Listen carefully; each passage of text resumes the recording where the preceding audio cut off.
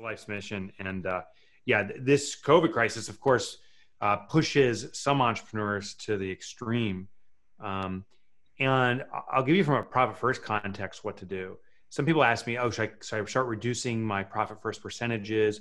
Maybe in, in some circumstances, increase it. Like, how should I adjust that? And my answer is don't do either.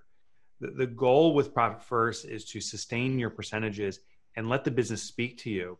So say I'm running a 10% profit, every deposit comes in, 10% is going toward profit, and I continue to do that. Well, that means the OPEX is still be fund, is being funded the same way.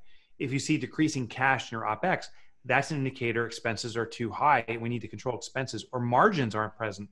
So we got to increase margins. If you see a circumstance where you see actually the cash reserves in the OPEX account increasing, well, that means we can actually adjust the percentages in favor of profit.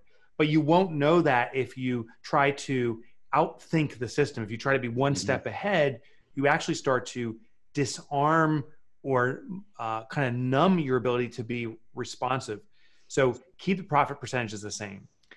In, in, in, regards to kind of the, the external things you can do outside the profit first system is immediately look for ways to reinvent your business. You may not need to, but I don't consider this the Great Recession. We had that in 2008. I consider this the Great Reinvention there's been such a shift mm. to business, such a shift to consumer perception that things will not go back to the old ways. There's going to be a new way. And the businesses that respond uh, and address a new level of service, a new way of positioning ourselves, are the winners. I've studied now every recession back to the, the 1929 Great Depression, and there's always been a common arc or sequence we go through.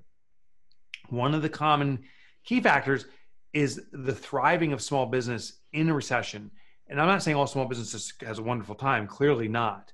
But mm-hmm. certain small businesses adjust to new demand and become the new juggernauts. The, the big companies today, they can't shift, they can't change overnight. They're, they're riding cruise ships.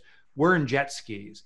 So use this as an opportunity to reinvent your industry and you can become the dominant force.